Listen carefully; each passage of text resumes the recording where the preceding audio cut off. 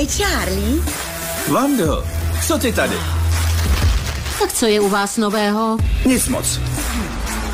Někdy se musíme sejít a trochu si popovídat. To by bylo fajn.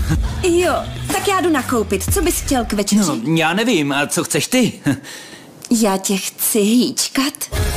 Co dělat, když je brácha v kurzu? Posloucháš mě? Ne, Posloucháš někdy? Ne. Posloucháš mě teď? ne.